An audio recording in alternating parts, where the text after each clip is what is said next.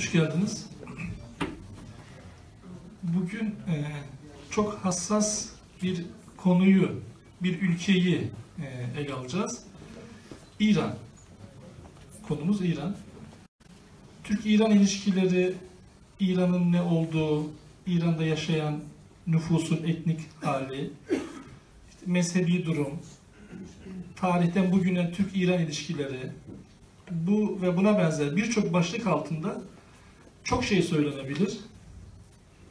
Yani söylenebilecek şey gerçekten çok fazla. Ee, ancak özellikle son gelişmeler babında Irak'taki, Suriye'deki ve genel olarak dünyadaki gidişatı dikkate alarak hem Türkiye'nin hem İran'ın hem de Rusya'nın e, çok hassas olmaları gerektiği bir dönemdeyiz. Ee, İran'daki son hadiseleri zaten biliyorsunuz. Dolayısıyla dedik ki e, İran'ı konuşmanın tam zamanı. Ama o hassasiyete dikkat ederek konuşmanın tam zamanı diye düşündük. Ve İran'ı bilen bir hocamız, e, bugün misafirimiz, doçent doktor Babek Bey. E, yine İran'ı bilen bir başka hocamız, Profesör Doktor Ferman Demirkol hocamız da hem oturum başkanı hem de konuşmacı olarak katkıda bulunacak. Ee, şimdi her ikisini konuşmalarını yapmak üzere kürsüye rica ediyoruz.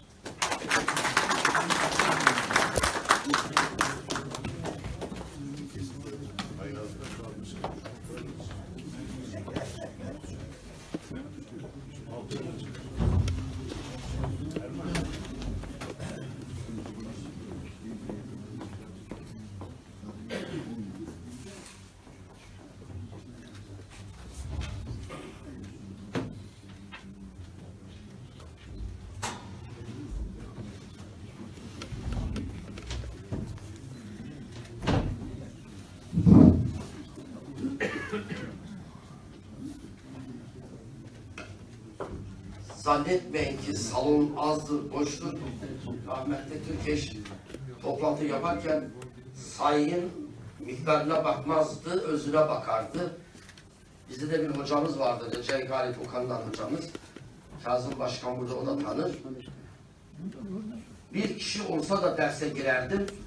Hatta o bir kişi başka türlü olsa onu da yine derse girer, dersi anlatırdım. Bir gün ben de gazaba uğradım ve tek kaldım. Şimdi aziz dostlar, hoş geldiniz, safa getirdiniz. Gerçekten Ömer Bey söyledi, bu salonda dahil. Ben iki konunun camideki mantıkla, imam mantığıyla ele alınmasını hep tehlikeli bulmuşum. İki konunun camideki imam gözüyle Allah lanetlemiştir Yahudileri. Ama dünya Yahudiler idare ediyor. E sana ne lanetlemiş, kimi kötü adamları lanetlemiş, onu çekiyor, cımbızlıyor, onu kullanıyor. Kötü kötüdür, her milletten insanlar kötüdür ama 11 yaşındaki çocuk doğumunda dünyaya gelmesinde kendisinin katkısı olmadığına göre onun lanetlenmişler arasında olması nasıl olabilir? Onun bir günahı yok. İkincisi var bu telefonumu da yine kendime bağlayayım ben. Evet. İkincisinde bu salonda dahil İran konusu ben Türkiye'de çok yanlış bilindiğini düşünüyorum. Doğru bilen de bir, olacak tabii. İran konusu kadar yanlış bilinen bir konu yok. Hemen başlayacağız. Bir, İran bir Fars devletidir. Yanlış. İran bir Şii devletidir. Küllen yanlış. İran efendim Avrupa ile Hristiyanla işbirliği halindedir. O da küllen yanlış. İran'dan bize dost olur mu? O da küllen yanlış. Tersine çevirin. Sizden İran'a dost olur mu? Sizinle İran ilişkileriniz nasıl? Yavuz'la Şah İsmail'in kavgasını siz getirip 2017 yılında kullanırsanız o gün ben de olsaydım şahsen ben Yavuz olsaydım Yavuz'un yaptığını yapardım. Devlet benim, egemenlik benim. Kalkın Şah'a gidelim, Şah'a gidelim diyor, Türkü diyor. Anadolu boşalıyor. Öbür tarafı Türk. O da Türk. E Fatih de Türk. Oğlunu katletme fermanını veren Fatih. Dikkat ediniz. Oğlunu katletme fermanı çıkıyor da bu Osmanlı'da saltanat ve iktidar elden gitmesin diyerekten gitmesin diyerekten sizin yapacağınız tedbirler yok mu? Ne yapacaktı yani? Yavuz ta- saltanatı Şah İsmail'e mi teslim edecekti? Öyle mi? Öyle bir iktidar, öyle bir durum var mı? Siz bugün yaşadığınız 20-40 yıl içerisinde hangi siyasal partinin genel başkanı ben başarısız oldum bıraktım gidiyorum diyeniniz var mı? Oldu mu? Ölmeyinceye kadar hiçbir genel başkan gitmiyor Türkiye'de. Öldüğü zaman kurtuluyoruz. Ha. Öyleyse öyleyse demek ki İran konusunu bizim doğru bilmemiz lazım bir. İran'ın bakın dün televizyonda söyledim. Bizim bir düşünmemiz gerekirken Rusya'nın 13 düşünmesi lazım. Bizimle, İran'la komşu ilişkilerini nasıl geliştirmesi lazım. Rusya, Rusya. Putin geçen hafta önemli bir şey söyledi ama bizim üniversitedeki aydın arkadaşlara söyledim ki ya Putin ne dedi? Ne dedi? Gene aykırı aykırı konuşacaksın sen diyor. Benim de adım aykırı kalmış bizim Mustafa Erkan'la Ahmet Gökçen'in yanında.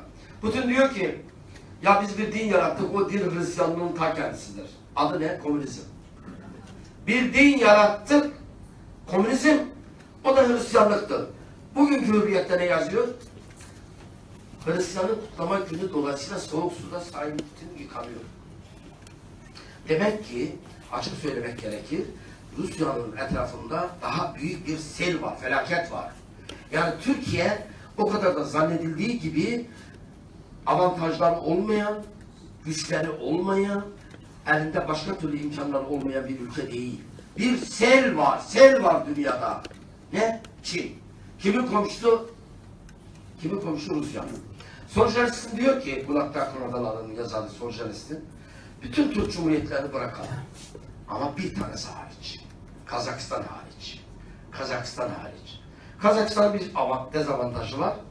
Bakınız, Kazakistan'ın bir dezavantajı var. Nüfusu az, arazisi çok geniş. Nüfusu az, arazisi geniş. Nüfus önemli bir silahtır, atom silahıdır. Ah ne kadar mutluyum. Bir oğlum ben bir kucağında, bir kız da ananın veya kız babanın kucağında, oğlan da ananın kucağında. Bunu herhalde bizim Türkiye'de başkaları yapmışlar ama koçun adına verdiler. Aile mutluluğu çiziyoruz. Mutlu bir oğlan, bir kız, o ne güzel. Nereden biliyorsun bir oğlan, bir kız? Belki iki oğlan, iki kız olacak. Ne, ne, ne, ne güzel. Demek ki nüfusunuz olması lazım. Çin açıldığı andan itibaren Rusya kalkacaktır. Çin'in iki devlete çok büyük, şey Rusya'nın iki devlete büyük ihtiyacı var. Şimdiden söylüyorum. Birisi Türkiye, öbürsü de İran. Birisi Türkiye, öbürsü de İran. Ama eğer biz İran'ı olduğu gibi değerlendirmezsek, sağ olsun, ben de bu vakfın mütevelli heyetindeyim, başlığı değiştirdik. Bakın, konferansımızın başlığı böyle değildi gelen mesajlarda. İran Türkleri, e, İran Arapları var, İran Kürtleri var, İran Farsları var, Türkmenleri var, var, var. Sende de var. Türkiye Türkleri var, Türkiye Kürtleri var, Kürt diye, Türkiye Arapları var maşallah. Üç buçuk milyon daha ilave geldi. Yeni bir devlet daha içimizde oldu. Ha. Öyleyse biz İran'a şöyle bir gözle bakmamız lazım. Konuyu biraz daha somuta getirip İran'ı anlatmamız lazım. Tamam, İran'ın kültürel yapısını anlatmak lazım, etnik yapısını incelememiz lazım. Buradan nereye gideceğimizin sorusunu iyi bilmemiz lazım. Bakınız, var. Ben 100 milyon İran'ın 70 milyonu diyelim. Hepsi Türk. Ne olacak? Ne olacak şimdi? Kosova'da Türkler var. Bosna Hersek'te Türkler var. Afganistan'da 8 milyon Türkler var. Suriye'de 3,5 milyon. Irak'ta 5-6 milyon. Ha, onun için terörde bazen bizi yıldırmak isteyenlere karşı şunu söylüyorum. Gider Afganistan'dan 8 milyonu getiririz, o dağlara, Kandil etrafına dizersiniz. Biter gider. General Reşit olsun orada bekliyor. Halkını hiç silaha sa- savaşa sokmadı ve hiç Afganistan Türkleri zayiate uğramadı. Taptaze duruyor.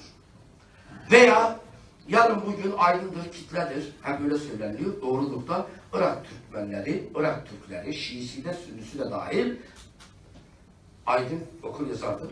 yer bulamayız alıp getiririz Türkiye'ye. Türkiye'ye Suriye Türkmenlerinin 3,5 milyonu bilinenler var bilinmeyenler de var. Alır getirsin Türkiye biter gider. Dolayısıyla Türkiye'nin Türk nüfusuna ihtiyacı yoktur. Türkiye'nin coğrafyaya da ihtiyacı yoktur. Biz 22 milyon metrekareyi kaybetmişiz. Ancak 780 bin kilometreye gelmişiz.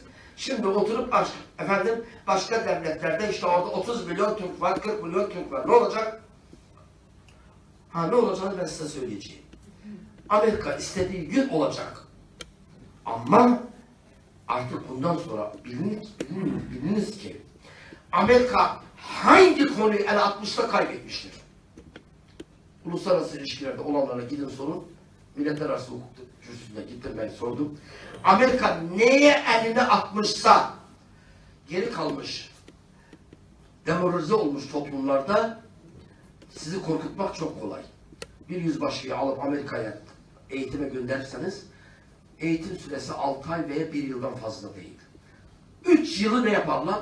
Amerika'nın büyük silah komplekslerini gezdirirler, gezdirirler, gezdirirler, çökertirler, gelirler efendim Ağrı'nın Doğu Beyazıt'taki tabur komutanına veya bölük komutanına elindeki piyade tüfeğiyle bakarsın Amerikan üstün üstün silah fabrikalarını gezen adam bu elindeki piyade tüfeğiyle ne olur diye düşüneceksiniz. Amaç o, sizi emorize edip çökertmek. Ama bilin ki sadece Amerika'da 100 milyon kişi bizim belediyelerimizdeki aş evlerinden yemek alıyor. Tamam, olabilir, silah olabilir. Onun projesi şöyle bir slogan kullanıyoruz. Herkesin bir hesabı var, Allah'ın da bir hesabı var. Ya siz Allah'ın hesabını Allah'a bırakın. Siz kendinizin hesaplarınıza bakın. Allah'ın içine niye karışıyorsunuz ben onu anlamıyorum. Siz kendi hesabınıza bakın. Neyiniz var sizin? Ne yapıyorsunuz? Dolayısıyla Amerika öyle güçlü bir devlet değil. Korkutulmuş taşeronları kullanan bir devlettir. Taşeron olmayacaksınız. Geri kalmış ülkelerin görevi zaten geri kalmış ülkeleri geri kalmış kafalar kurtaramıyor. Geri kalmış ülkelerin görevi başka devletlere taşeron olmak. Bunu tarihte gördük biz. İki millet maalesef hayatıyla, kaderiyle ödüyor bu taşeronluğu. Biri tarihte Ermeniler olmuştur. Batı'nın ve emperyalizmin emrine giren Ermeniler kendileriyle beraber komşu beraber kardeşçe yaşadığı Osmanlı'da ihanet yapmışlardır. Diğeri de Kürtlerin bir kısmı. Dikkat edin. Kürtlerin bir kısmı. Şimdi haber geçiyor. Afrin'de Efendimiz başladı. Ya sen kime başladın? PKK yoktur. PYD yoktur. Sivas dolaylarında, Erzincan dolaylarında boru hatları bombardıman edildi, uçuruldu. Dedi ki bu taşerondur. PKK değil. Neden? Rusya o gün ihtiyacı vardı. Boru hatları Türkiye'den geçmemesi lazım. Kendisinin devrede olması lazım. Ne yaptı? Moskova'daki büroya talimat verdi. Dedi ki bombayı patlat bakalım. Biz ne yazdık gazeteler? PKK boru hattını havaya uçurdu. PKK uçurmadı. Ha.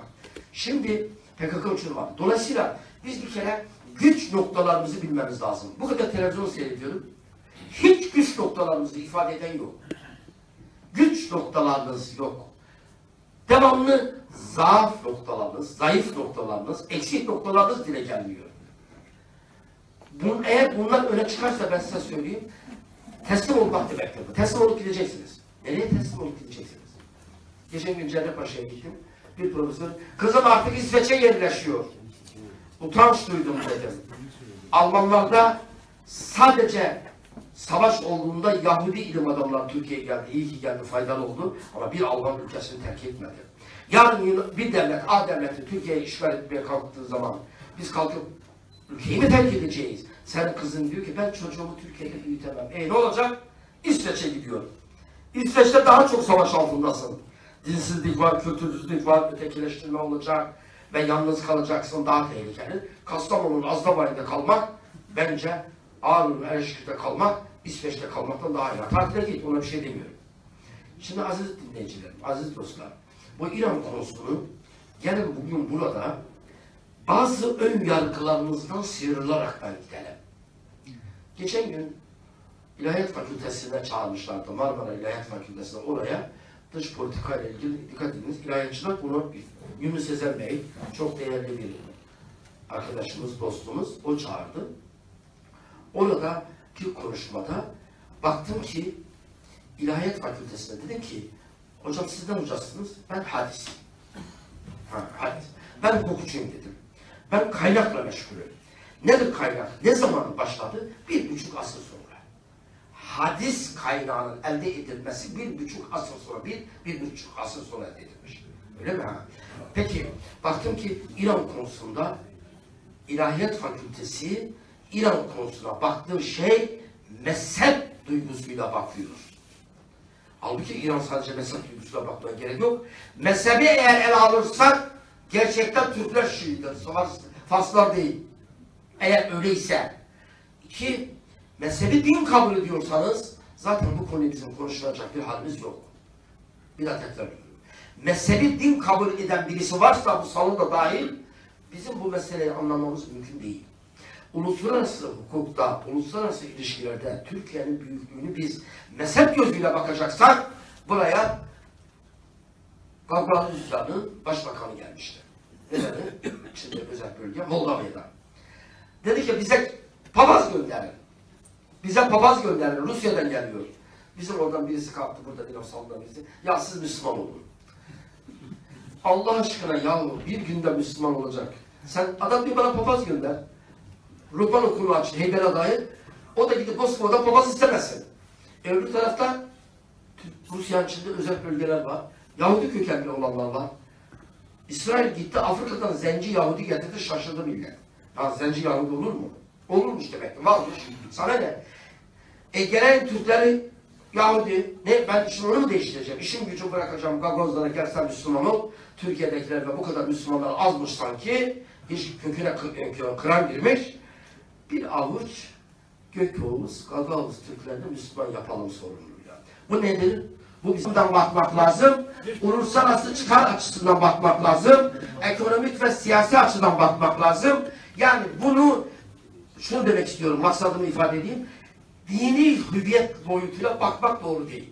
Çünkü bir sorunun sadece dini hüviyet boyutu yok ki. Ekonomik boyutu var, uluslararası ilişkiler boyutu var. Nasıl olacak? İran'a eğer mezhep gözüyle bakarsanız o profesör İstanbul Emniyet Müdürlüğü'nde kalktı dedi ki Şiiler sapıktır. O zaman o, bu da yanlış. Değil mi? Şiiler sapıktır mantığıyla halen Diyanet İşleri Başkanlığı'nın yayınladığı eserlerin içerisinde bu anlatılıyor. Siz şimdi bununla nasıl kalkacaksınız? İran, Türkiye, Rusya ilişkiler, Amerika vesaire. Nasıl birlikte olacaksınız siz? İran Şii. Efendim bu da doğru değil diyorum ben. Yanlış bilgiler aktarılıyor bize birbirimize. Yanlış bilgiler aktarılıyor. İran Şii değil sadece. İran'ın İran politik bir devlet. İran uluslararası ilişkilerini çok iyi kullanan bir devlet. Bakınız İran dini bir devlet hüviyetinde hareket etmiyor. İçinizde bir şey söyleyeceğim yine şaşıracaksınız. Başka- Osmanlı da dini bir devlet değil. Konuşmacıyı dinleyelim. Evet, Osmanlı da dini bir devlet değil. Osmanlı bir devlet. Osmanlı bir devlet. O kadar. Başka bir şey yok bunun. Osmanlı bir devlet. Şimdi Osmanlıcılığı geri getiriyorsunuz da itham ediyor. Mesela ben Osmanlı Devleti'nin sona ermediğini anlatıyorum. Savcı kesim bana müthiş derece hücum ediyor. Ya sen Osmanlı sona ermedi mi? Ermedi.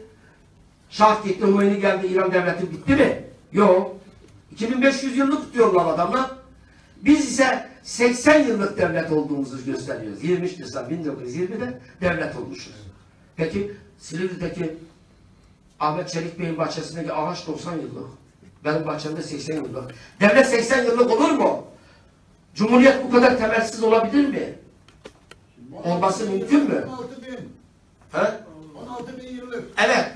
Böyle bir şey olabilir mi yapmasız dostlar? Böyle olabilir mi? Biz küçültüyoruz bu işleri. Se yaşasın 23 Nisan 1923'te 20'de Türkiye Büyük Millet Meclisi açtı devlet oldu. Ondan önce ondan önce yok. Ya bu mantık doğru değil. Böyle gidemeyiz. Evet. Şimdi şunu bakalım. İran çok mezhepli bir devlettir. Çok milletli bir devlettir. Ve bizim komşumuzdur. Düşünün Azerbaycan'a vizeyle gidiyorsunuz. Biliyor musunuz siz? Haberiniz bile yok. Azerbaycan'a. Kardeş Azerbaycan'a vizeyle gidiyorsunuz. Hudutta vize alınıyor ya da havalanda vize alınıyor. Niye? Türkiye Büyük Millet Meclisi, Türkiye Büyük Millet Meclisi vizeyi kaldırmış Azerbaycan'a. karşı ama bir şart koymuş. Tekabiliyete göre. Karşı tarafta kaldırsın diye. Karşı taraf kaldırmamış. Bağımsız Azerbaycan devleti vizeyi kaldırmadığı için şimdi hudutlar veriyor. Biz onlar geldiğinde havalanda veriyorduk. Onlar da pasaportumuzu alıyorlardı eskiden Bakü'den.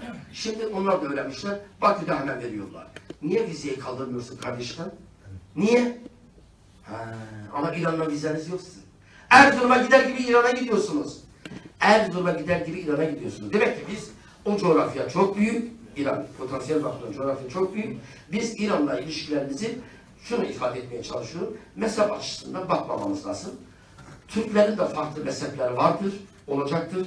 Türklerin de farklı dinleri vardır, olacaktır. Ona bir şey demiyorum. Oradaki devletin de kendine göre farklı yapısı olacaktır. Şaşıracaksınız. Tahran'da Yahudiler vardır.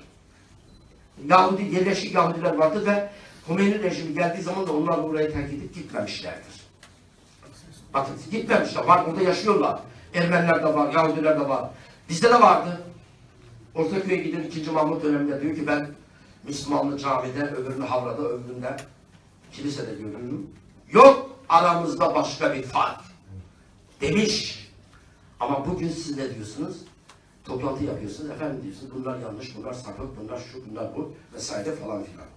Ben İran'a şu gözle bakıyorum aziz dostlar. Bu benim şahsi görüşümdür.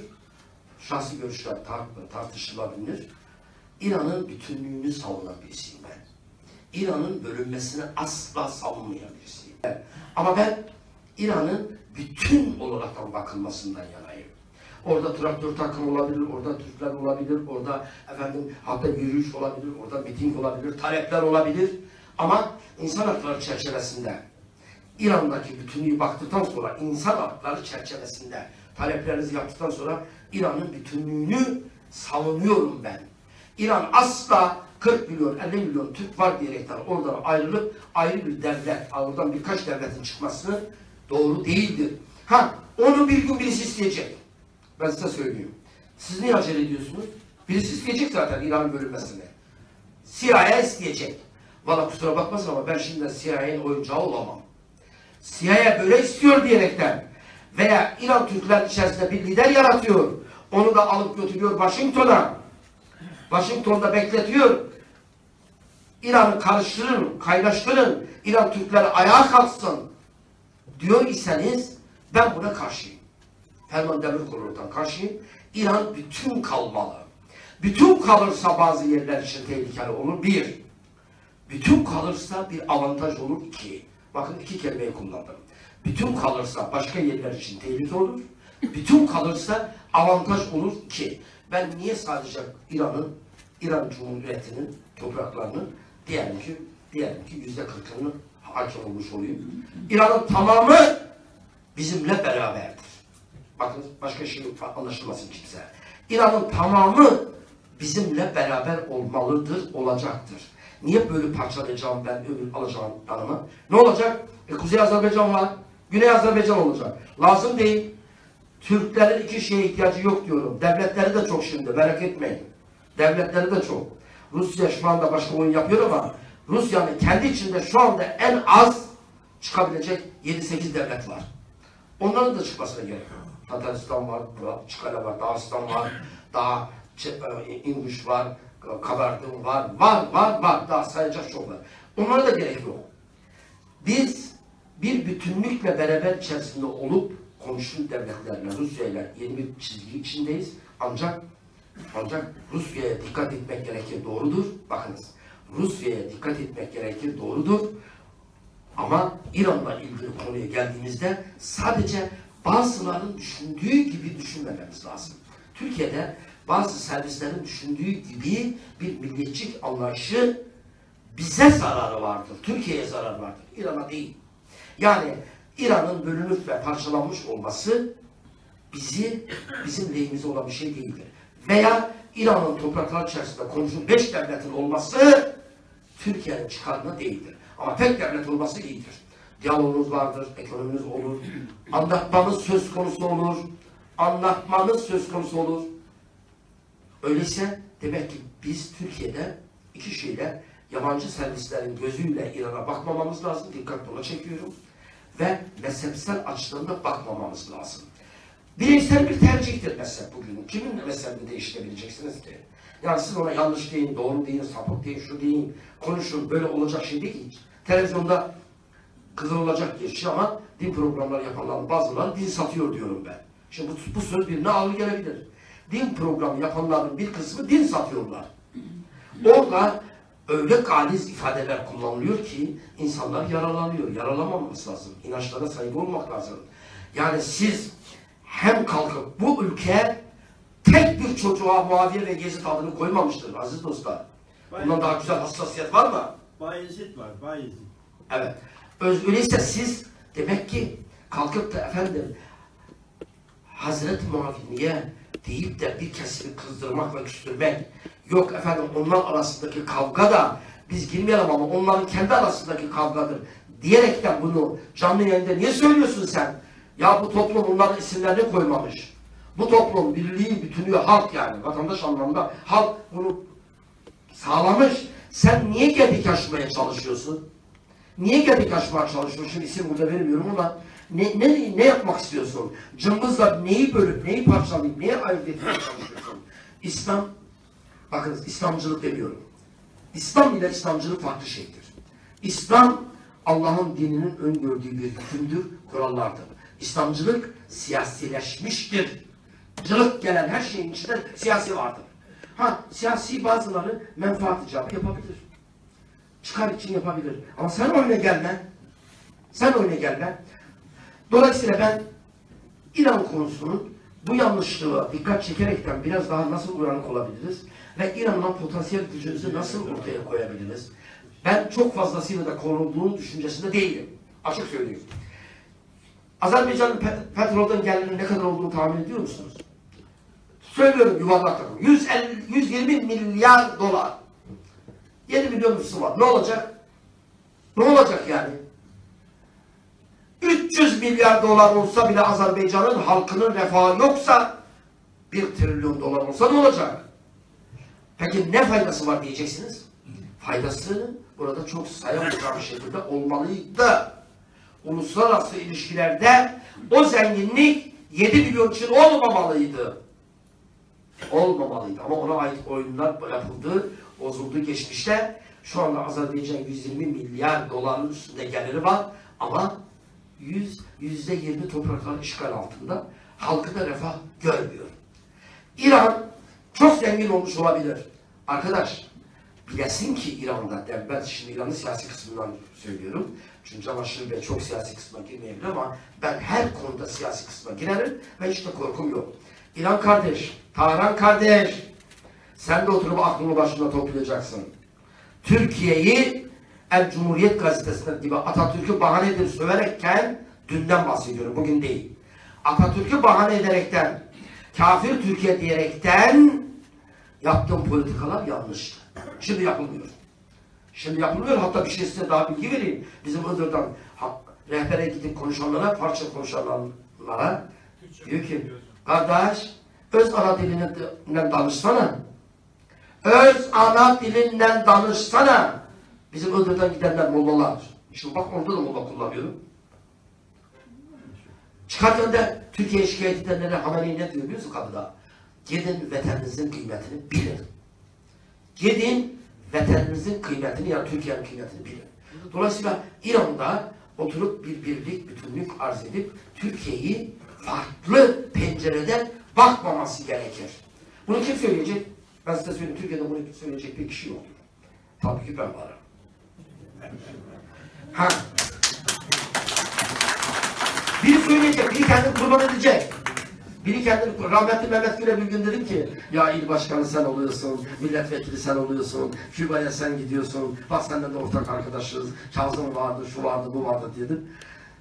Bize de bir imkan olsun dedim. Mehmet, valla sana da diyor, ağlamak düşmüş, yanmak düşmüş. Rahmetli böyle dedi. Ve hatırla kitabında yazar. Sana da diyor yanmak düşmüş. Bana da gerçekten yanmak düşmüş. Şimdi Cemaşin Bey, ben kendi hakkımı kullandım. Diğer haklarınızda sonra kalmak üzere siz de hakkınızı kullanın. Sorularınız da geldiği zaman yine bu konuyu böyle karıştırır kaynaştırırız. Siz Abdullah Bey'le benim atışmama da çok bakmayın. Farklı iş çok da kes gözünüz ben gözümde büyütmediğim gibi siz de gözünüzde büyütmeyin. Biz Abdullah Bey hizmet olan bir insandır. Bu vakfın elemanıdır. Benim sözümü öyle anlamış, böyle anlamış. Olabilir. Farklı anlayabilir, tepki gösterebilir. Ben tepkisine de teşekkür ediyorum. Buyurun. Çok teşekkür ediyorum hocama. Ee, herkesi ilk önce selamlıyorum ve bu fırsatı bana tanıdıkları için Sayın Avrasya Bir Vakfımızın Başkanı Sayın Şaban Gülbahar, Sayın Ömer Özkaya'ya teşekkürlerimi bildiriyorum. Ee, şimdi İran aslında Türkiye açısından e, en önemli ülkedir. Gerek tarihsel boyut ve gerek günümüz e, politikalar açısından. İran'ı gelip e, Batılıların yazdığı ve çarpıttıkları oryantalist bakış e, e, gözlüğüyle değerlendirmek e, Türkiye'de yapılmış olmuş en büyük yanlışlardan birisidir. Biz kendimiz e, ana kaynaklara inerek ve ontolojik e, açıdan meseleyi değerlendir, değerlendirmemiz gerekirken bunu Batılılardan gidip devşirme usulüyle e, radyodan, televizyondan e, sunmamız çok büyük bir yanlışlıklara yol açacaktır gelecekte de. Şimdi İran'ı değerlendirirken ilk önce e, burada İran kavramı üzerinde duracağım ben. Daha sonra Pers veyahut Fars kavramı üzerine duracağım. Modern Fars etnopolitik kimliğinin oluşumu nasıl gerçekleşmiştir? E, ve bu nasıl e, doğru bir tespit yapılabilir bununla ilgili? İran'daki tarihsel evreler ve bu tarihsel evrede e, Türklerin rolü neydi? Sonra en son 1925'te e, İran'da e, Pehlevi e, ta, Pehlevi dönemine geçişle birlikte Kaçar döneminden Pehlevi dönemine geçiş nasıl gerçekleştirildi ve yabancı güçlerin bunda nasıl müdahaleleri vardı?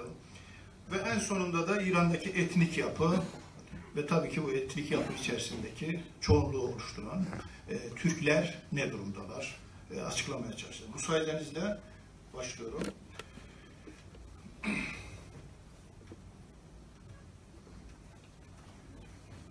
İran nüfus olarak 80 milyondur. Etnik nüfus sayısı 90'dan fazladır. E, En son araştırmalara göre. İran kavramının tanımı. Yaygın ve yanlış bir görüş vardır. Coğrafi anlamda İran ilk kez Sasaniler döneminde e, kullanılmıştır ve Eranşeh biçiminde kullanılıyor.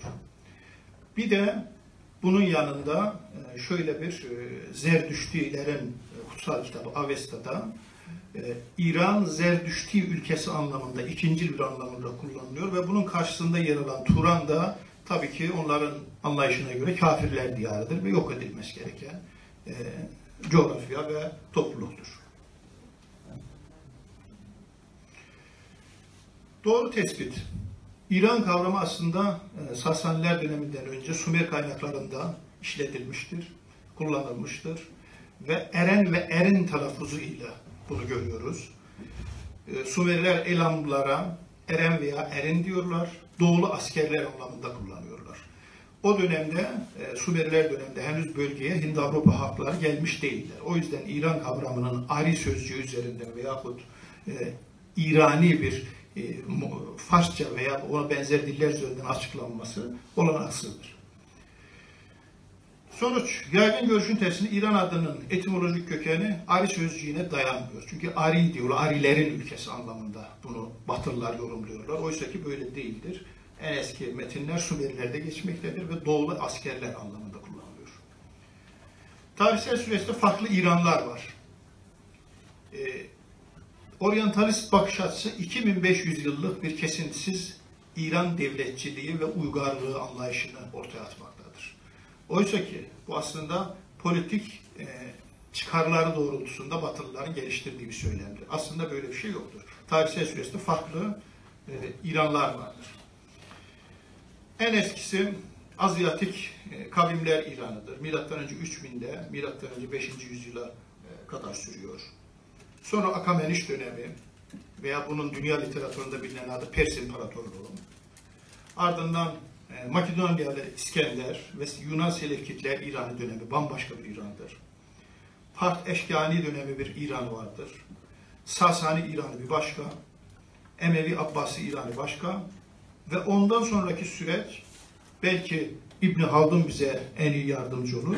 İbn Haldun açık bir biçimde e, kendi döneminde İran'dan söz ederken El Mukaddeme adlı eserinde e, İran Türklerin ülkesidir açık bir biçimde ifade etmektedir. E, şimdi Arapçasını da ben size göstereceğim. Burada herhalde siz Arapçayı daha iyi bilirsiniz. Ve İbn Haldun gibi bir şahsın bunu söylemesi çok önemli. Çünkü İbn Haldun tarih felsefesi ve aynı zamanda sosyoloji biliminin kurucusudur. Ve böyle bir tespitte bulunmuşsa bu yabana atılır bir tespit olamaz kesinlikle. Ve 1925 sonrası İran ise bambaşka bir İran'dır.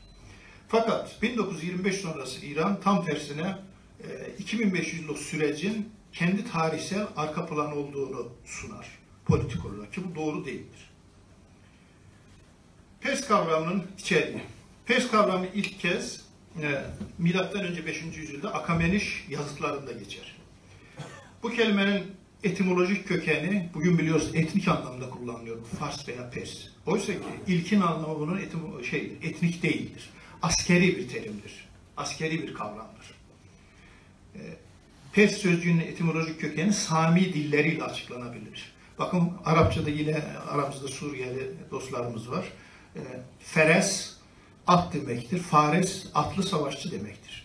İbranice'de Peres veya Paras atlı savaşçı demektir.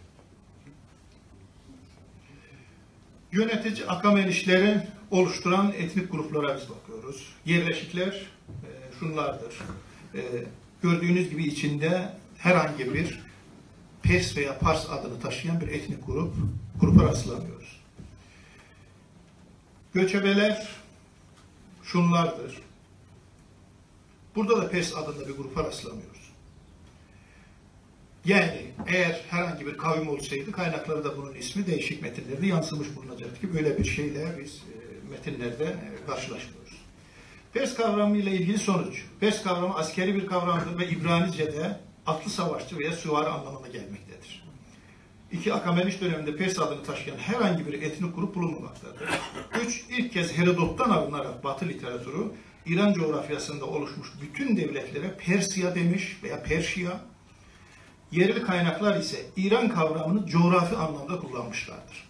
Hatta batılı literatür, literatür e, örneğin e, Akkoyunlara da Pers'tir.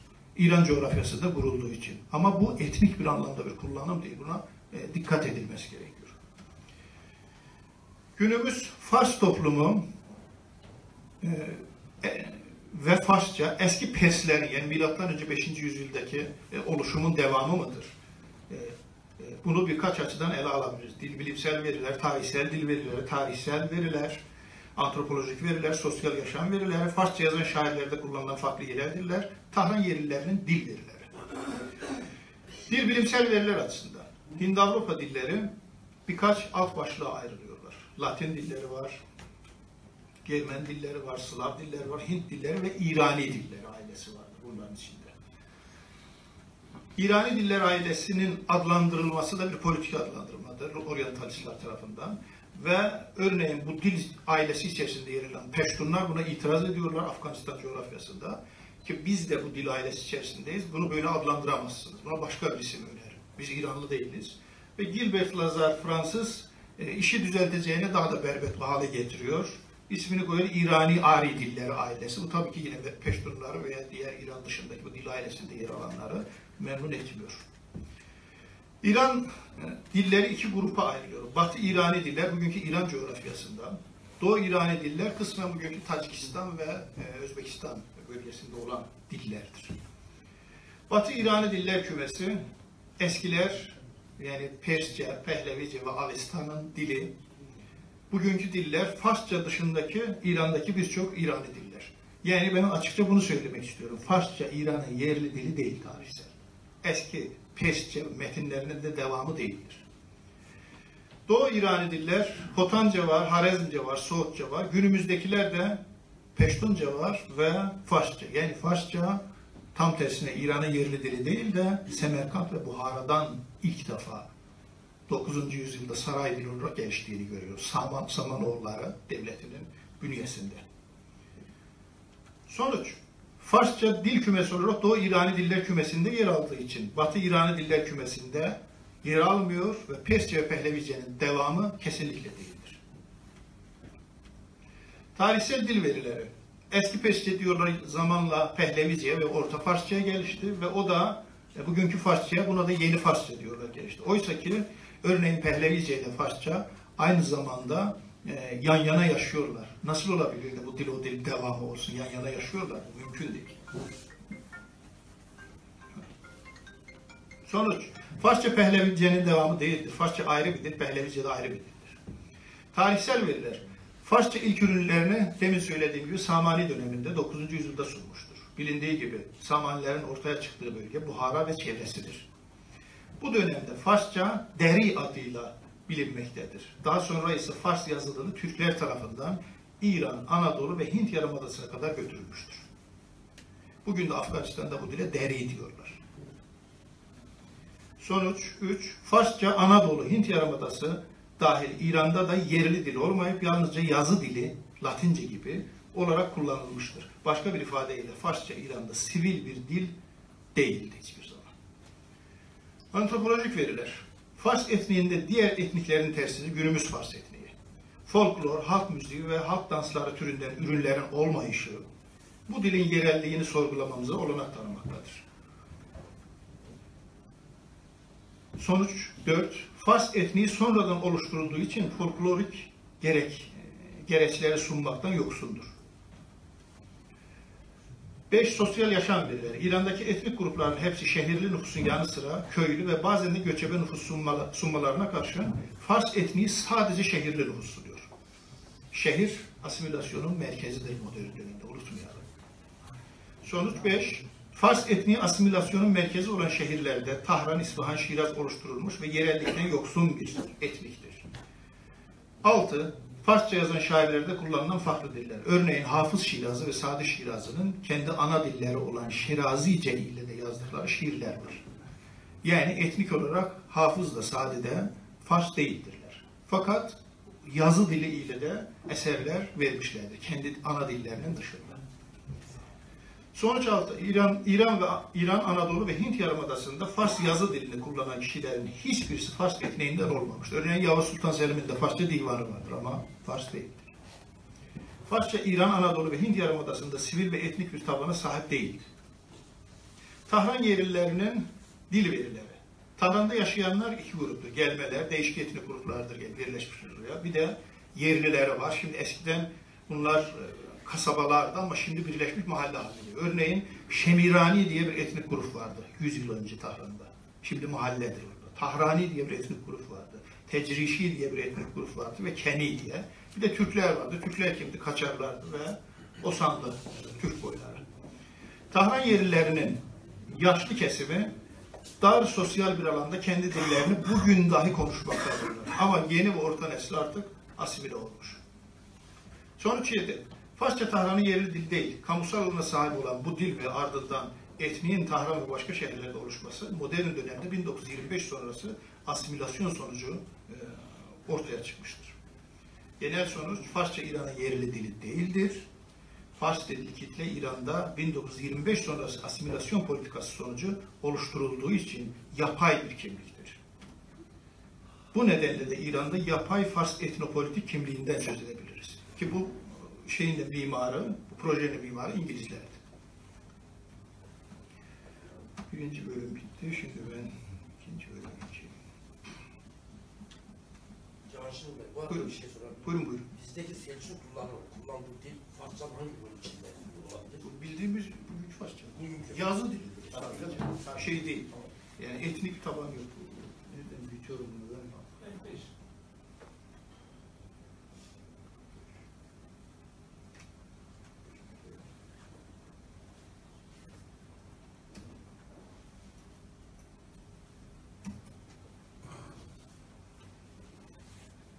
Ya bunu yapamadım. Ömer Bey bir baksana. Çıkar.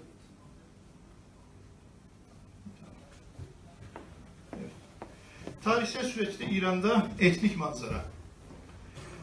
İbn Havkal İslam tarihçisi Es-Suretül Arz asarında, eserinde İran'da 300 dilin var olduğunu söylüyor. Gezmiş dolaşmış. Makdisi de e, Ahsen-ü Tekasim'de 70 dilin, 70 dil yalnız daha dar bir bölge. Bugünkü e, Erdebil e, eyaleti bölgesinde Savalan Dağı var. Onun çevresinde 70 dilin var olduğunu söylüyor. Gerçekten de İran Türklerden önce, Selçuklulardan önce aşırı heterojen bir etnik yapıya sahipti. Fakat Türklerin gelmesiyle bu homojenleşti. Ciddi bir Türk nüfusu Selçuklularla birlikte İran coğrafyasına girdi. 11. yüzyıl öncesi İran'da etnik yapının temel özelliği aşırı heterojen ve mozaik. Fars yazı dilini kullanan Türk devletleri Fars devletleri miydiler? Demin sizin sorduğunuz soru. Bu Türkiye'de hep söylenir. Diyorlar ki bizim e, Selçuklular Fars dilini kullanmıştır. Fakat burada bir takım yanlış e, bilgilendirmeler vardır. Türkçe söz konusu dönemde aristokrasinin dilidir. Sosyolinguistik açıdan. İletişim dili ve lingua francadır. Yani etnikler arasındaki, etnikler de bu dille bağlantı kuruyorlar. Kamusal alana sahiptir. Farsça ise sadece yazı dilidir ve katipler sınıfı ve kimi şairler tarafından kullanılıyor. Yani sarayın bile yüzde birini kapsıyor. Ama biz gelip yüzde bir kapsayan bir e, e, sosyal alanı bütün Selçuklu'nun e, mirasıymış gibi veya tam kimliğiymiş gibi sunuyoruz ki bu yanlıştır. Patronal yapıda gelişen maddi ve manevi ürünler.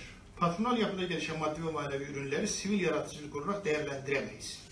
Devletle ilintilidir bu.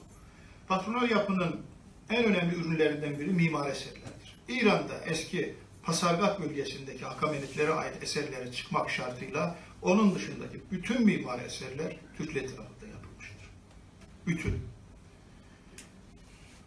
Burada Han, Kervansaray, cami. Mesela İran'ın en eski camisi Simna'nın Damgan bölgesindedir.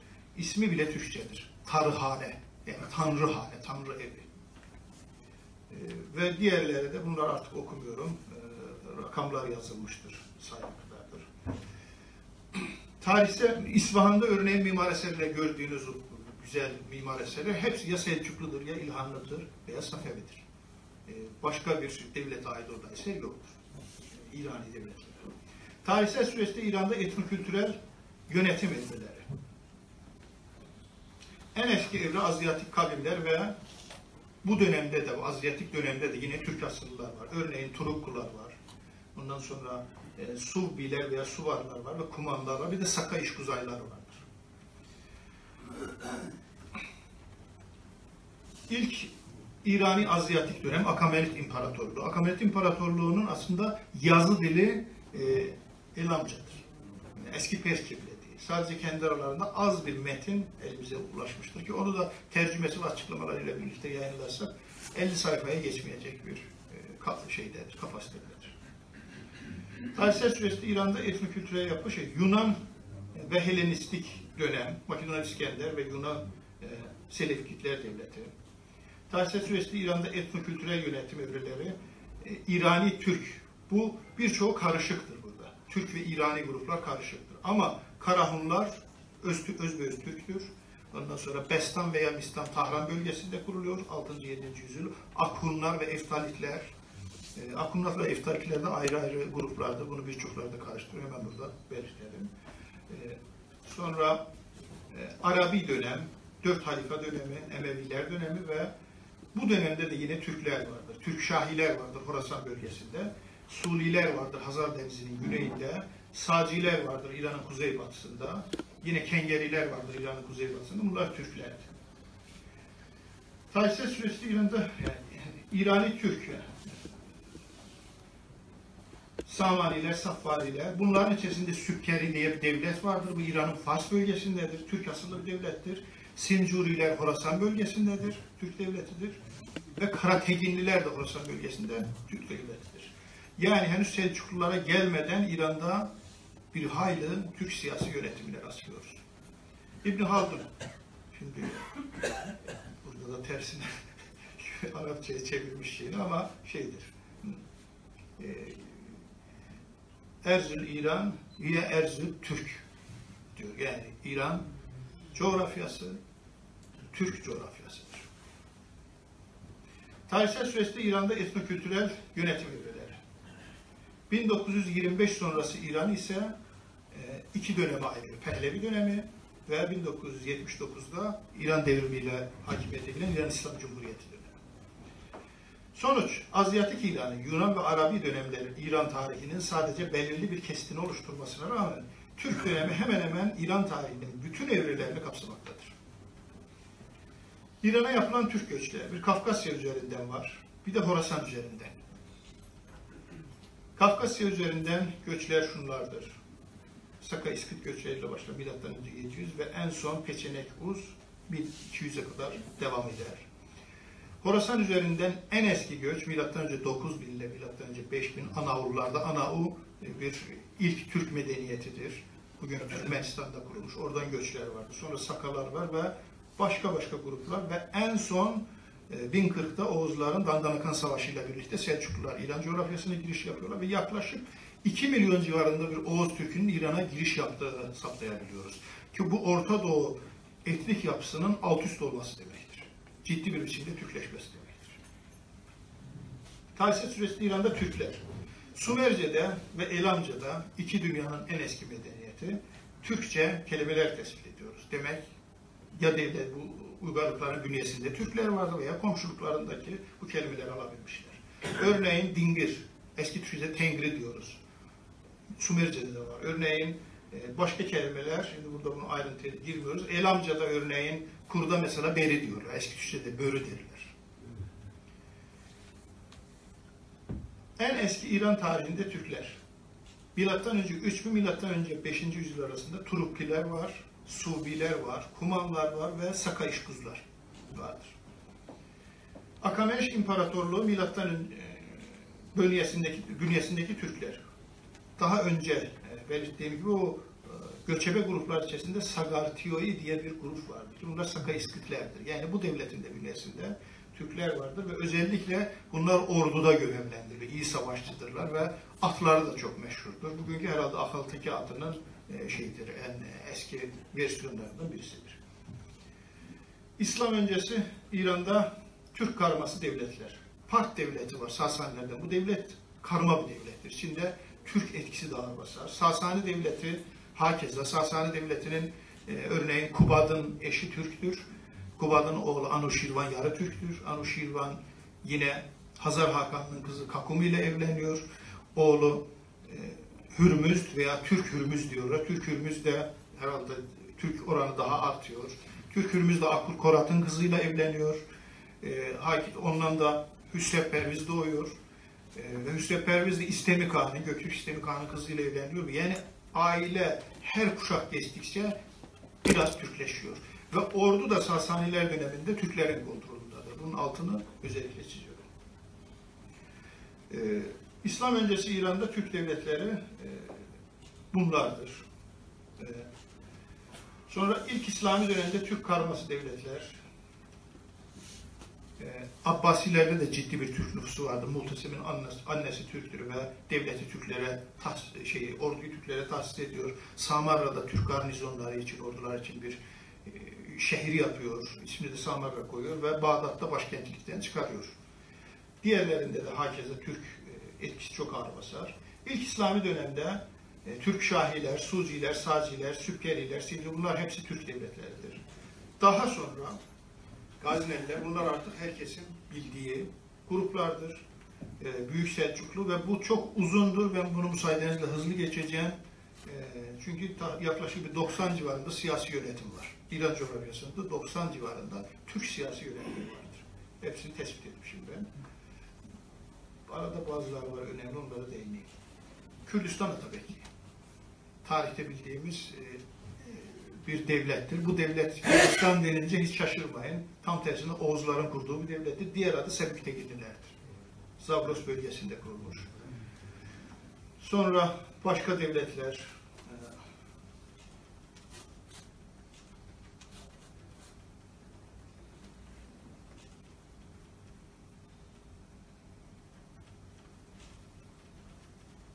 Timurlular, Karakoyunlar, Koyunlar, Safeviler, Kılzaylar, Afşarlar. Kaçarlar en sondur.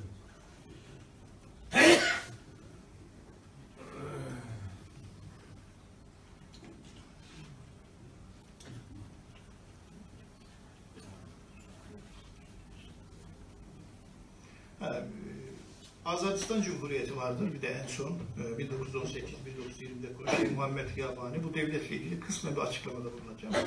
E, bu devlet e, bizim e, Türk tarihine hakim olmayan bazı e, kesim tarafından bir Türk kimlikli bir devlet gibi sunuluyor. Bu tamamen yanlış bir bilgidir.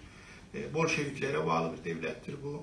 Ve Türk kimliğini hiç önemsemez bu devlet. Hiç önemsemez. Hatta Türk ordusunun Batı Azerbaycan'daki Asurileri ve Ermenileri kontrol e, altına aldığında bunlar tepki koyuyorlar. Ve bu devletin en temel özelliklerinden birisi Azerbaycan'da kurulmuş bugünkü e, şey Cumhuriyette Mehmet Emin Resulzade'nin kurduğu devlete karşıdır. O yüzden de İran'daki Azerbaycan adını siliyor ve sol bir söylem olarak Azadistan, azadi yani özgürlük diye bir terim kullanarak bir devlet kuruyorlar ki bu da iki yıl sürüyor. Sonra Azerbaycan Milli Hükümeti var 1945-46 Pişeveri, Seyit Cemal Pişeveri tarafından kurulmuş. Bu devlet de tamamen Stalinizme bağlıdır. Tamamen. Hatta ilginçtir Azerbaycan bölgesindeki yönetim bölgesel yönetimi iken kendi içindeki Mahabat bölgesi ilk Kürt Cumhuriyeti'dir. Ve bazıları bunu şöyle diyorlar ki evet, Türkiye niye destekleme? Türkiye değil mi bunu desteklesin? İlk Kürt, kendi içindeki özel bölge Kürt Cumhuriyeti kuruyorsunuz. Türkiye de bunu destekleyecek mi? Ve Stalinizme tamamen bağlı. Sağlıklı, İran coğrafyasında yakın çağdaki sağlıklı devlet e, siyasi oluşum bir tek budur. 8 Haziran 1918'de 1 Ekim 1918'de.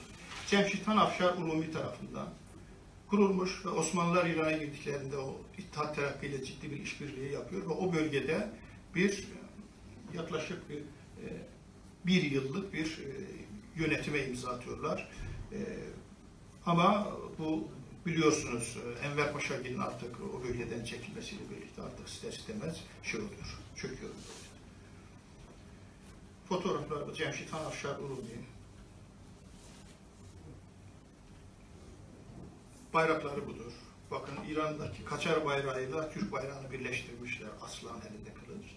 Ee, İttihat Terakki'ye bağlı bir şey ve Türk ordusuna bağlı bir siyasi yönetim. Kaçar dönemi. Kaçar dönemi İngilizlerin faaliyetlerini gözden geçirmemiz lazım. İngilizler biliyorsunuz Hindistan'a yerleştikleri zaman orada Babürlü İmparatorluğu vardır. Timur'un soyundan gelen Babürlü İmparatorluğu. Muhteşem bir devlet ve muhteşem bir uygarlık. Tac Mahal mesela onun ürünüdür. Yani dünyada şah mimar eserlerdendir. Fakat alttan alttan orada bu yapıyı dönüştürmeye ve antropolojik araştırmalarla e, orayı çökertmeye çalıştı. Örneğin orada Zerdüşti kesim var Gujaratiler içerisinde. Bugün Hint Parsileri olarak anılırlar. Onlarla bağlantıya geçti ve onları e, ciddi bir biçimde destekledi, bölgede yerleşti. Neden Zerdüştüler üzerinde durdu? Çünkü şöyle bir söylem var. E, Zerdüştülüğün ana vatanı İran'dır ve İslam orduları Sasani döneminde e, İran'ı ele geçirdiklerinde Zerdüştüler güya Hindistan'a kaçıp yerleşmişler ki bu doğru değil aslında. Çünkü oranın yerli Zerdüştüleri etnik olarak İran'la ilgili Gujarati etniğindendirler.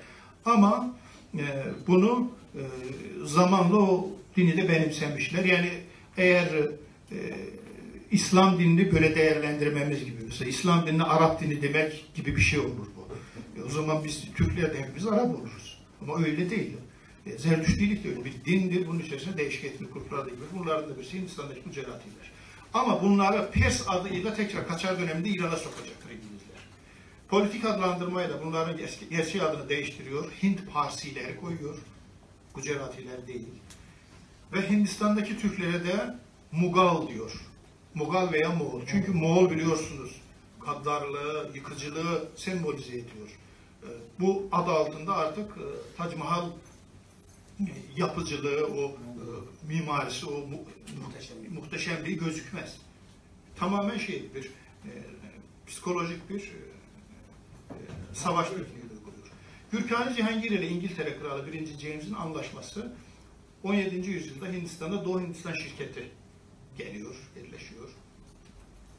Evrengiz'in ve Doğu Hindistan şirketinin 1690'da faaliyetlerinin başlaması. Babürlü Devleti'nin yıllık geliri o dönemde 28 milyon İngiliz sterlin. Dünyanın en zengin ülkesidir.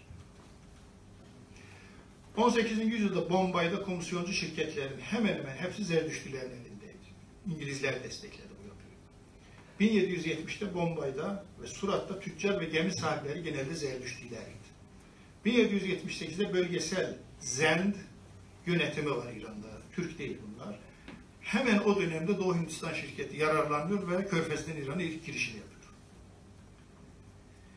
Ruslar da Zend yönetimini destekliyorlar ciddi bir biçimde. 1804-1811'de Bombay'da nüfus kayıt memuru James McIntosh, Zerdüştilerin Hindistan ve Asya'da en güçlü yatırımcılar olduğunu yazmaktadır. 1818'de Sercan Malcolm'un yardımcısı Molla Firuz Bombay'da Desatir-i Asmani kitabını yayınlıyor. Desatir-i Asmani yani e, semavi e, destanlar. E, ve bu kitap niye önemlidir? Günümüz İran tarihçiliğinin ilk ürünüdür. 2500 yıllık İran uygarlığını savunan anlayışın ilk ürünüdür.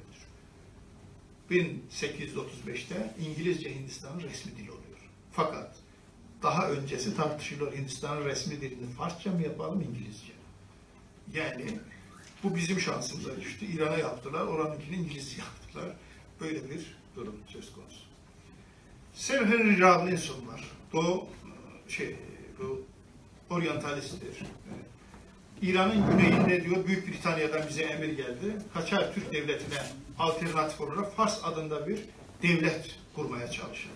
Biz bölge halkıyla diyor temasa geçtik ve bunu izah etmeye çalıştı. Bölge halk yalnız diyor anlayamadı bunu. Dediler ki İran'daki o Türk padişahlar bunlar zillullah'tır. Osmanlı döneminde de bu kullanılır biliyorsunuz zillullah. Tanrı'nın yeryüzündeki gölgesi ve temsilcisi olarak. Ama e, yapamadık diyor bunu. E, özellikle Sadrazam Emir Kebir bizi ciddi bir biçimde diyor engelliyordu.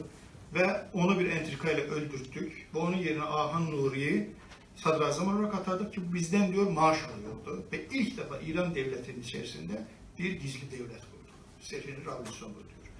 Ve ilk kez Türk olmayanlara bu dönemde, modern dönemde Fars denmeye başladı.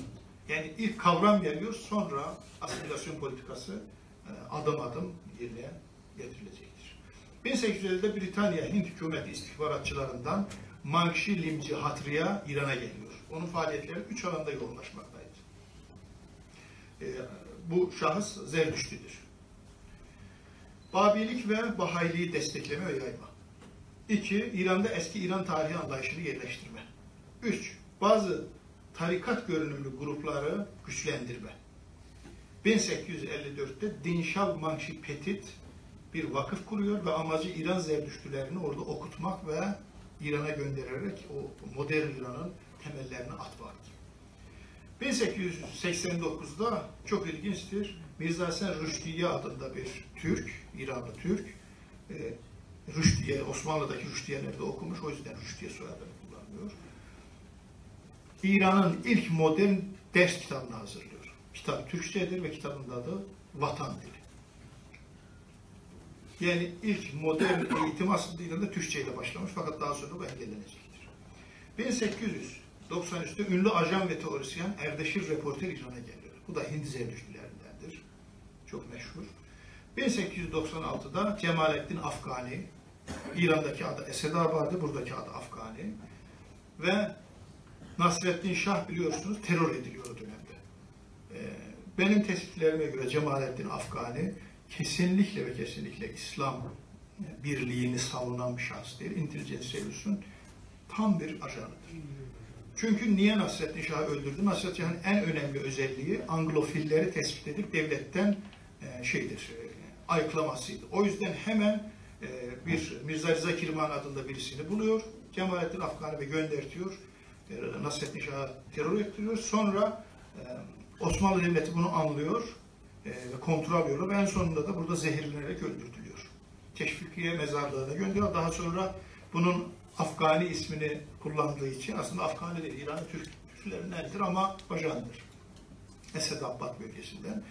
E, Afganlılar bu Afgan adından e, bahanesiyle bunun e, cesedinin götürdü Afganistan'da gönderiyor. Afganistan'da hiç ilgisi yok. 1905-1906'da meşrutiyet devrimi gerçekleşiyor. Bu devrimin arka planında e, çok ciddi bir biçimde İngilizler vardır. Muhammed Ali Şah Kaçar ve Türk Kaçar Devleti'ni devirmek için iki önemli Zerdüştlü ticari şirket olan Erbap Cemşit Cemşidiyan ve Cihaniyan ticarethaneleri çok miktarda silahlı silahı meşrutecilere dağıtıyorlar. 1921'de askeri bir darbe yapılıyor. Seyit Ziya Devlet Başkanlığı'na ve okur yazar olmayan Rıza Han da Milli Savunma Bakanlığı'na getiriyor. Bu Rıza Şah Pehlevi'dir. 1923'te Rıza Han getiriliyor. 1925'te Türk Kaçar Devleti İngilizlerin yaptığı bir darbeyle yıkılmış ve Pehlevi Devleti kurulmuştur. Pehlevi adını bu devlete veren ise Erdeşir Reporteriydi.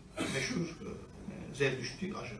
Ona göre İran, Hint Zerdüştülerinin ana vatanı, Rıza Şah da Zerdüştü dininde öngörülen Mehdi veya kurtarıcıdan başkası değildir.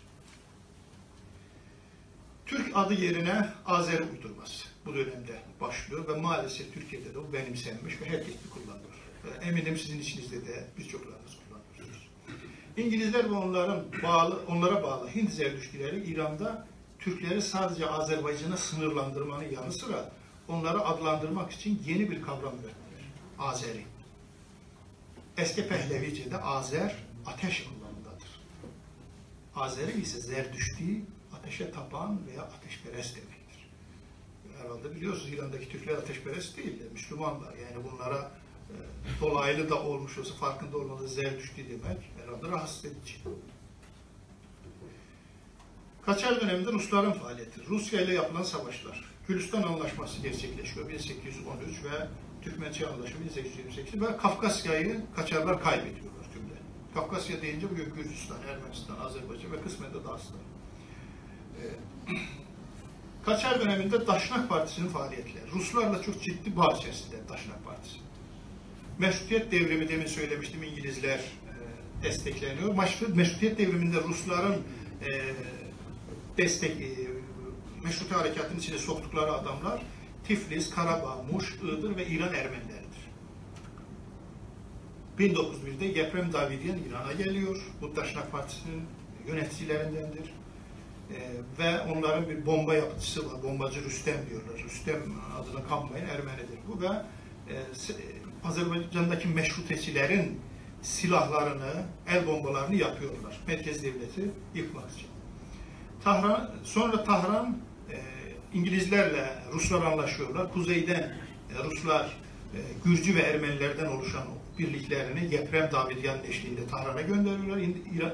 İran'ın güneyinden de İngilizler Lor Bahtiyarileri e, ki bugün İran'da üçüncü etnik gruptur. E, Tahran'a gönderiyorlar ve Tahran ister istemez e, Türklerin kontrolünden çıkmış oluyor. Depremi, deprem daha sonra Tahran'da Nazmiye ve polis teşkilatının başına geliyor. Aslen Gence civarındaki bir Ermeni köyündendir. 1906'dan sonra Batı Azerbaycan'da etnik Soraniler yerleşti. Soraniler biliyorsunuz Kürtlerin bir kolu. Bu tarihten önce o bölgede Kürtler yoktu. Bunun yerleştirilmesinde hem Ruslar öne ayak hem İngilizler ve hatta başka Avrupalı devletler. Meşrutiyet devrimi ve Türkçe çok ilginçtir. İran'da meşrutiyet devrimine kadar Türkçe gazeteler çıkıyor. Fakat meşrutiyet devriminden sonra sıfır. Bu da bu devrimin e, arka planında açıklar niteliktedir.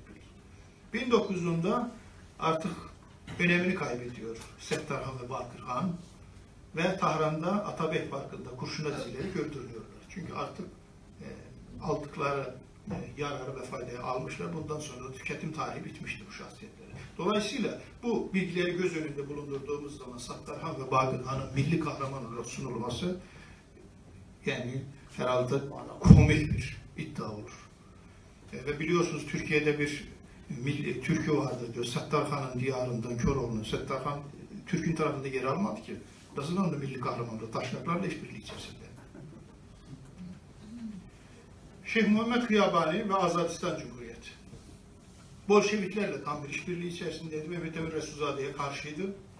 Osmanlı Mehmet Emin Resulzade ve e, Meclis Seltane Afşar tarafından, İran tarafındaki kurdukları devletleri daha sonra birleştirerek e, e, kendine bağlamak istiyordu. Aslında yerli Türkler de bunu sonuna kadar destekliyorlardı. Bunun için yerli halk ve aydınlar da hazırlıklıydılar. Türk Kaçar Devleti'nin çöküşüne tepkiler. 1925'te çöküyor. Kafkasya'daki Türk aydınlarında Molla Nasrettin gazetesi vardır ve çevresindeki aydınlar vardır, fikir akımıdır.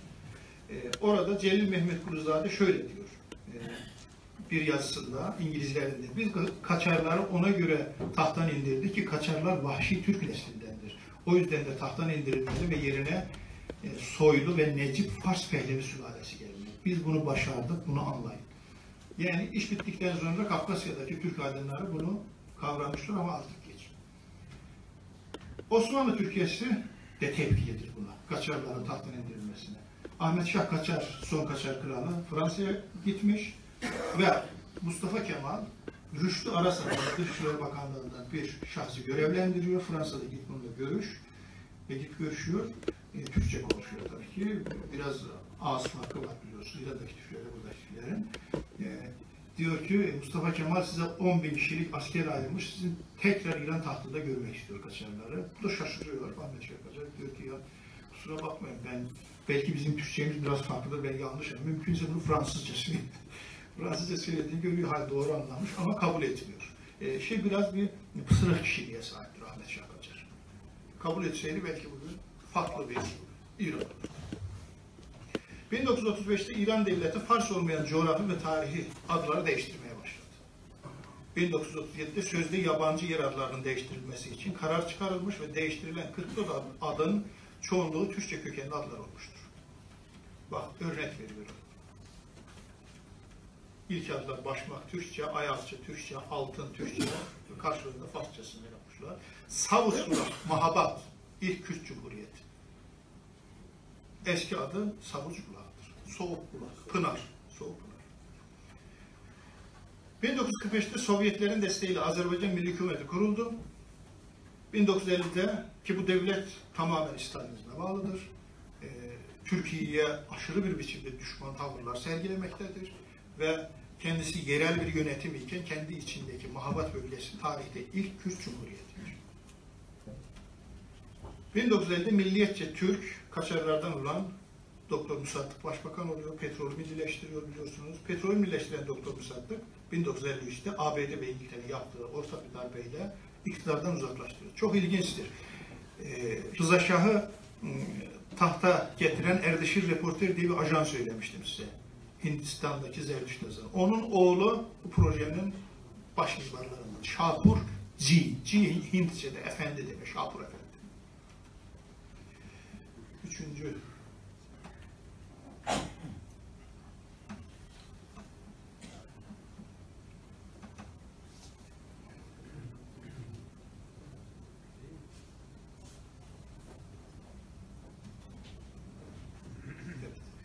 İran'ın eyaletleri. Eyaletler. İran 30 eyaletten oluşuyor. İsimlerini burada yazdım. İran'da etnik gruplar, 90'dan fazla etnik grup var. Ama İran'da örneğin mesela değişik e, Kürtleri mesela ele alalım. Kürtleri diyor Farsçanın bir ağzıdır. Oysa ki öyle değil. Yani bir Kürtle bir Fars bir araya hiçbirisi birbirini alamaz. Ama politik olarak öyle bir sunum içerisinde. Türklere de diyor ki sizler zaten Türk değilmiş, sizler Azeriymişsiniz. Sonra Selçuklular geldi sizi zorla Türkleştirdi. Soyunuz İranidir ama diliniz Türkleşti. O yüzden siz Türk dilli İranilersiniz. Türk etniği. 47 milyon dolaylarında İran'da Türk etniği var. Diğer etniklerin oranını yazdım. Fars 9-11 milyondadır. Lor Bahtiyarlar 5-6 milyon ve diğerleri. İran'da inanç grupları. 10 inanç topluluğu vardır. Caferiler yüzde 85-90'dır. Kızılbaş Aleviler, aynı Türkiye'deki Aleviler gibi var. Şafiiler var. Şafiiler içerisinde Urmiye'de Şafii Türkler var çok az. Hanefi Türkler var az. Hristiyanlar var. İsmaili ve e, şeydir şöyle Zerdüştlilere kadar. Genel anlamda İran Türkleri ve alt gruplar. İran'da iki ayrı Türk kavramından söz etmemiz gerekir. Bir genel anlamda Türk, iki dar anlamda ise kendini e, etnik olarak Türk ve dillerini de Türk dili, Türkçe, Türkü veya Türkü olarak tanımlayan. İran'da kendilerini etnik adlandırmalarıyla şu Türk grupları bulunmaktadır. Bir Türk, İran'ın her yerinde yaşıyor. Her yerinde, her yerinde. Yani sadece Azerbaycan'da değil. Azerbaycan bölgesinin barındırdığı Türk nüfusu 8 milyon. Kuzeybatı, Kuzeydoğu, Merkezi ve Güney var. İki, Türkmenler var, Hazar Denizi'nin güneyi. Üç, Halaçlar vardır. Bunlar da Tahran'ın güneyinde e, yaklaşık bir yüz köyde yaşıyorlar. E, ve e, Orhun Türkçesinden de daha eski bir Türkçeyi konuşuyor. O yüzden Türk grupların e, ilgi odağı bir gruptur. Ve Kazaklar vardır. Bir, e, e, Rusya'dan kaçıp gelmiş. Bunların hepsi de daha sonra Kazakistan'a geri döndü. İran Türklerin coğrafi dağılımı diğer etnik topluluklara göre temel bir farkı vardır. Diğer etnik topluluklar bölgesel dağılım göstermektedirler. Hatta Farslar. Türklerin dağılımı ise ülkenin bir baştan diğer başa her yeridir. Ancak Türklerin yoğunlaştıkları, üç bölge vardır. Kuzeybatı, Kuzeydoğu, Merkezi ve Güney İran. Bir de burada e, Türklerin coğrafi dağılımına ilişkin bir saptamada bulunmamız gerekir. Biliyorsunuz, e, siz de dediniz İran'ın parçalanmasını istemiyorsunuz. E, biliyorum, ben de biliyorum yurt dışında birçok e, değişik gruplar vardır. E, dar nüfuslu, nüfus da diyemeyeceğim, yani dar sayıdan oluşan bağımsızlıktan yanadırlar. Fakat bunların benim tespitim İran'daki e, halk tabanlı yansımaları yoktur. Ve İran'daki Türk nüfusunun İran'ın genelini kapsaması aslında İran'ın parçalanmasını engelleyen en büyük etkendir. Mümkün değil bu. Ben bunu diyorum 10 yıl sonra da göreceksiniz, 50 yıl sonra da bu engellenecek, izin vermez. Çünkü her Türk'ün Tahran'da akrabası vardır. Ne yapacak? Tahran'daki e, 10 milyonluk Türk gelip Azerbaycan'a mı yerleşecek? Yer olmaz ki. Evet. E, ayrıca Horasan'da 5 milyon Türk var. Ne yapacağız onları? E, dolayısıyla yani bunun İran'ın Türkler tarafından parçalanmasını e, duyarsanız e, mümkün değil. Ama Kürt bunu ister. Arap ister, Beluç ister. Çünkü yöresel bir dağılım. Türklerin coğrafi dağılımı. Dar anlamda Kuzeybatı bölgesi. Türkoloji literatüründe maalesef bu bölgede yerleşenlere Azeri ve Sungur diyorlar. Ki Azeri diye bir topluluk. Halk kendini Türk diyor. Kuzeydoğu bölgesinde yaşayan Türkleri de Horasan Türkleri ama Türkologlar buna özellikle Horasanca demeye tercih ediyorlar. O hoşlarına gidiyor. Bu da yanlış. İran'ın merkezi ve güney bölgesinde yaşayan Türklere de Kaşkay'ı diyorlar. Ki Kaşkay orada 50 tane boydan biridir. Hepsi değil. Kuzey Batı bölgesi Türkleri Azeri ve Azerbaycan Türkçesi adıyla bilinen bu dilin e, konuşurlar. Kendilerini Türk, dillerini de Azeri değil, sadece Türktür olarak tanımlıyor. Kendi dilini hatta Azerbaycan Türkçesi olarak tanımlamaz. Azerbaycan Türkçesi de doğru bir tanımlama değildir. İran'ın her yerinde yaşıyor bu. Değil. Ne diyelim? Horasan'dakine diyelim Azerbaycan Türkçesi. Böyle bir şey mi olur? Sonra Kuzey Batı bölgesindeki Türklerin yaşadığı eyaletler. Batı Azerbaycan, Doğu Azerbaycan, Erdebil, Zencan, Kazvin, Hemedan, Merkezi Eyalet, Kum, kısmen Kürdistan, Taran'ın önemli bir kısmı Kirmanşah. E, gördüğünüz gibi Azerbaycan ilk üç Azerbaycan bölgesi. Diğerleri Azerbaycan değildir. Tabi bu bağlamda bazıları bir tarihi Azerbaycan diye bir e, şey uydurmuşlar. Ben tarihçiyim, metinleri de çok iyi biliyorum. Taberi, Belami ve diğerlerini öyle bir şey yoktur. Kendilerini kandırmasın kimse. Bu sadece Rusların bir politikasıdır. Gü- Şey, Güney Azerbaycan şeyleri, orada nasıl bir e, ayak yeri bulabilir kendine. Kuzeybatı Türkleri. Ağırlıklı olarak yerleşik Türkler yaşasa da Türkler var. Örneğin Doğu Azerbaycan'da bu gruplar var. Hepsini okumayacağım, hızlı geçeceğim. Evet. Batı Azerbaycan'da bu gruplar var. Erdebil'de Şahsevenler var. Zencan'da bunlar var. Kazvin'de bunlar var.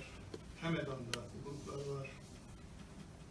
Kürdistan'da Diyarbakırlar ve diğer Türk grupları var.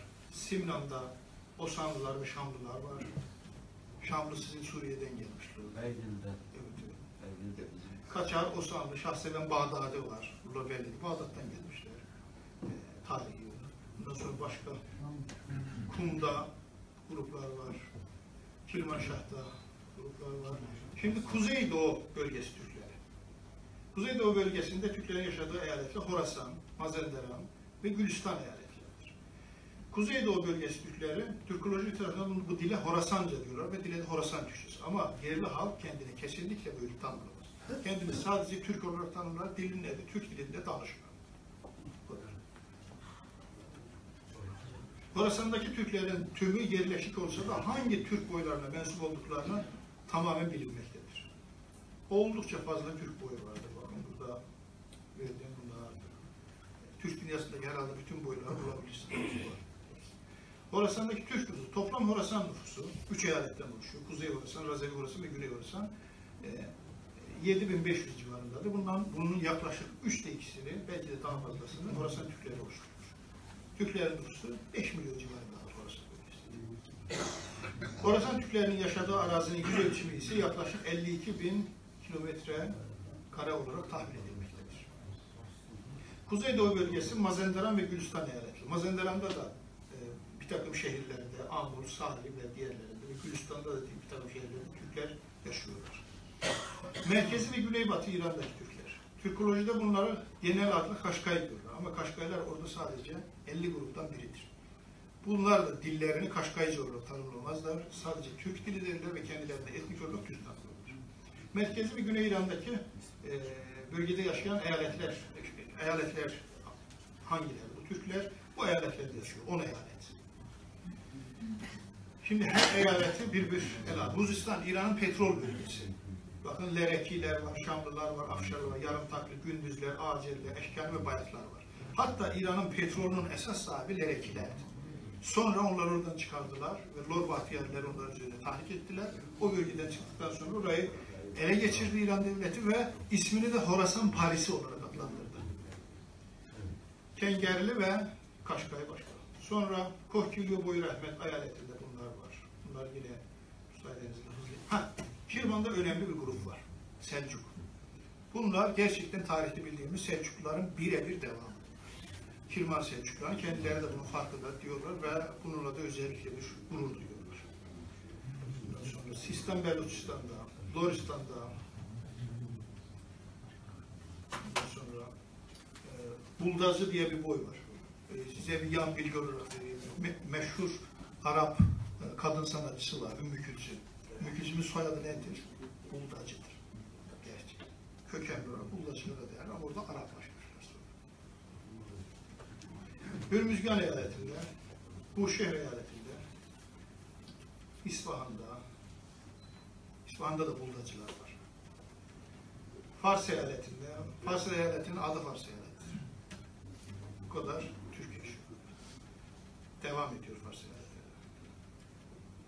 Merkez ve Güneybatı, Merkez ve Güney İran'da yaşayan en kalabalık Türk nüfusu Kaşkaylardır. Kaşkayların yaşadığı arazinin yüz ölçümü 180 bin, 186 bin 180 kilometre karedir. Kaşkay eli 8 şey eyalette yaşamaktadırlar.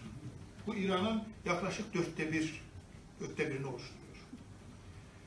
Kaşkaylar bu boylardır. 5 artı boy. Nüfusları yaklaşık ülke nüfusunun yüzde yedisi 5.6 milyon civarında bir nüfus. Sadece Kaşkay. Yaşadıkları bölge bu. Bu da İran'daki Türklerin genel e, yaşadığı bölge. Bundan göstereyim. E, Kırmızılar yüzde seksenden fazladır o bölgede Türkler. Pembe renkte Türkmenlerin yaşadığı o da yüzde seksenden. Mavi renk yüzde iki ile yüzde yirmi arasındadır. Diğer bölgelerde yüzde ikiden az olan Türkmenlerdir.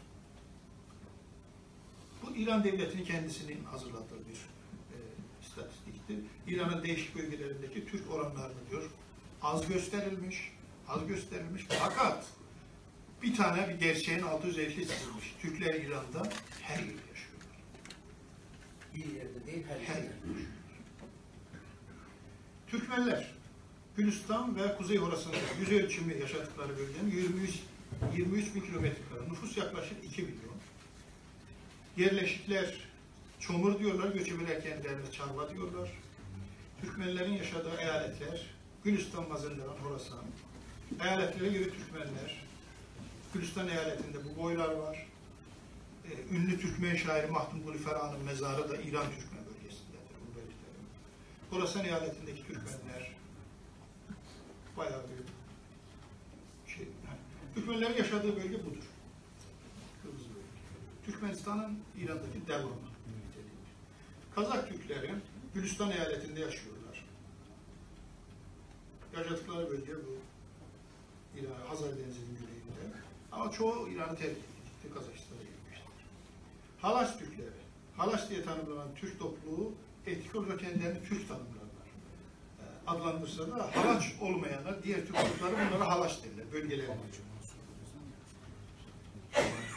Halaç Türklerinin coğrafi bölgesi. Tahran'ın 200 kilometre kadar güneydoğusunda Halaçistan'da yaşıyorlar. 100 bin civarında bir nüfuslar var. 1968'de keşfediliyor bunlar. Alman Türkolog Gerhard Böfeter tarafından. Eski Türkçeden de daha eski bir dili konuşuyorlar. Çok ilginçtir. Yaşadıkları bölge. Şu. Şimdi bunları bir arada değerlendirirsek e, İran'ın her yerinde yaşayan Türkler şey vardı. Türkmenler ve e, şeyleri birleştirdik bunlar. Sonra Türkçe unutmuş gruplar var. Hazareler gibi. İran'da Hazareler var. Çaroymaklar var. Timurler, Taymaniler, Cemil, Firuzkuliler, Kızılbaşlar var Horasan'da Türkçe. Ruti, ondan sonra Kılzayiler, Başverdiler, Lorlar içindeki Türkler var, İlkailer var, e, Belüşler içerisindeki Afşarlar var ve başka başka. Sonuç, İran'ın 11. yüzyıl öncesi etnik yapısı aşırı heterojen ve mozaikiydi. Bu mozaik yapıda bile Türk asıllılar çoğunluktaydı. 11. yüzyıl heh, 11. yüzyıl Türk göçleri İran ve Maveron Nehri Araplaşmadan kurtardı ve kendi lehine Türkleştirdi. Emin olun Selçuklular gelmesini İran coğrafyası Mısır'a kadar olduğu gibi Araplaşacaktı. Hatta Anadolu coğrafyası. Ama Türklerin 2 milyonluk bir nüfusla Horasanlar İran'a girişleri bunu tam tamına değiştirdi ve bunun uzantısı Anadolu'ya, Suriye'ye ve başka bölgelere, Irak bölgesine kadar da Kafkasya'ya daha uzadı. İran'daki etnikler içinde aynı coğrafyada tarihi devletlere sahip olan tek etnik Türklerdir. Türk egemenliği döneminde Türk patronal yapısında gelişen tüm maddi ve manevi yaratıcılık e, ürünleri sivil bir tarafı olmadığı için Türk uygarlığına aittir. Tarihsel egemenliğin bir uzantısı olarak Türkler diğer etnikler gibi İran'da bölgesel değil, İran'ın başa başında yaşamaktadır. Altı İran'da genel ve özel anlamda iki Türk kavramından söz edebiliriz. İran'da özel anlamda üç Türk topluluğu vardır. Türk, Türkmen ve Halaçlar. Bu nedenle de Azeri, Azerbaycan, Azerbaycanlı, Horasan, Horasanlı, Kaşkay etnik adlandırmaları yanlış ve bilimsellikten uzak bir değerlendirmenin ürünüdür. Tarihsel egemenliğin bir uzantısı olarak İran'da özel anlamda Türk etniğinin dil adlandırılması e, şahsen ben Türkolojide bir makale de sundum. Bunun adı Merkezi Oğuz Türkçesi olarak adlandırılması en mantıklıdır. Çünkü bu dile biz Azerbaycan Türkçesi diyemeyiz. Sadece Azerbaycanlıların dili değil. İran Türkçesi de diyemeyiz. Sadece İran'daki Türklerin dili değil ki. Veya Irak'ta veya Suriye'de diyemeyiz. 9. İran'da özel anlamda bile Türk etniği nüfus açısından birinci sıradadır ve Türkiye'den sonra dünyada ikinci kalabalık Türk nüfusu İran'da yaşamaktadır. Bu çok derece önemli bir bilgi. Türkiye'den sonra en fazla nüfus İran'dadır. Özbekistan'da ve hatta Orta Asya'daki toplam e, Türk Cumhuriyetlerinin nüfusunu toplasanız İran kadar yapmıyor. Günümüz Fars etniği kesinlikle Pers ve Pehlevilerin devamı değil ve etnopolitik bir kimliktir. 11. İran Türkleri kimliksel olarak iki önemli boyuta dayanmaktadırlar. Bunları, bunlar bir tarihsel veya dikey boyut, iki demografik, nüfus veya yatay boyut. Söz konusu iki boyutun kesiştiği odak ise İran Türklerinin kimliksel tanımıdır. Bunlardan biri olmadan yapılan tanımlamalar ise duygusal ve bilimsellikten uzak değerlendirmelerdir. 12. Türk göçleri, kurulan devletler, Türk boylarının çokluğu, Türk jeopolitiği ile stratejisi, genel Türk tarihi ve Türkoloji açısından İran'ın en önemli Türk bölgelerinden biridir. Beni dinlediğiniz için teşekkür ediyorum.